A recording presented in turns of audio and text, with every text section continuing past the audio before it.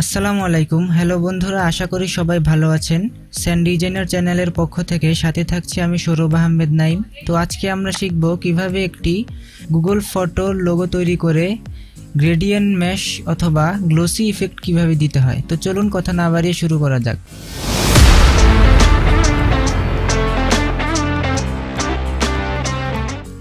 তো আমরা প্রথমে ইলাস্ট্রেটরটি ওপেন করে নেই।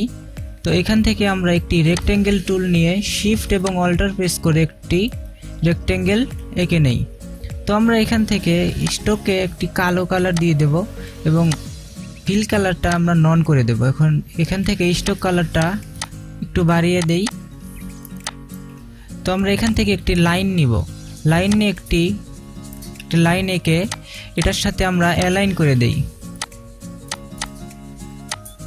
তো এটা আমরা এখন একটু রোটেট করে নিব। তো এখান থেকে ট্রান্সফর্মে গিয়ে রোটেট রোটেট থেকে প্রিভিউ ক্লিক করে আমরা এই বরাবর একটি লাইনটি রেখে আমরা ওকে প্রেস করে দেই। তো আমরা এখন আবার এটাকে রোটেট করব। তো ট্রান্সফর্মে গিয়ে আবার রোটেট করে পঁয়তাল্লিশ ডিগ্রি রেখেই কপিতে প্রেস করব এবং কন্ট্রোল ডি বারবার প্রেস করব। তো দেখবেন এরকম একটি আইকন তৈরি হয়ে গেছে। তো আমরা অল সিলেক্ট করে এখান শেপ বিল্ডার টুল দিয়ে আমরা অল্টার প্রেস করে বাইরের অংশটুকু কেটে দেই।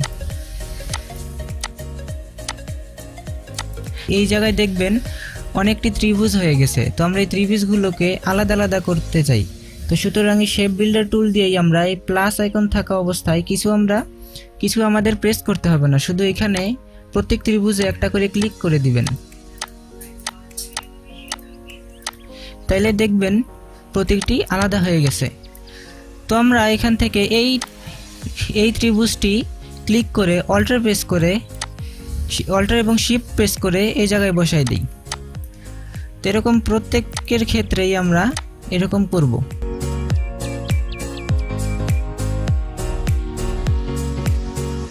তো অনেকটা হয়ে গেছে। তো আমরা অল সিলেক্ট করে নিব।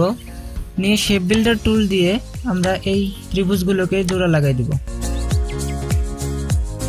এখন আমরা এখানে কয়েকটা কালার দিয়ে দেই।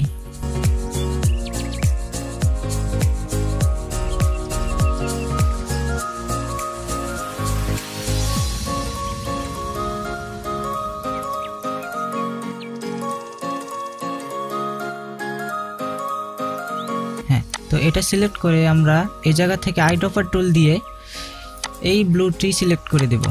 তো দেখবেন এই কালারটা এই জায়গায় চলে এসেছে। তো প্রত্যেকটার ক্ষেত্রেই আমরা যার যার পছন্দ মতো আমরা বসাই দিই।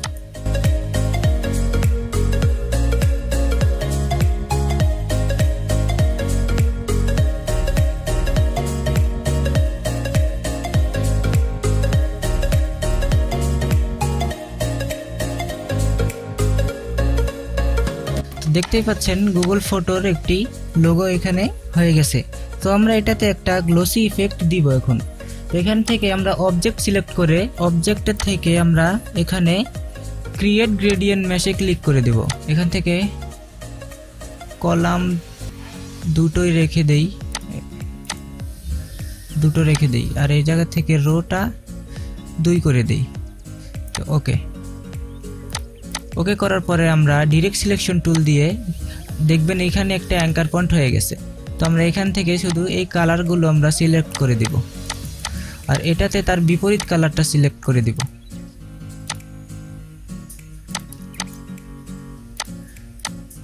সবগুলোতে আমরা সেম প্রক্রিয়াটাই করব।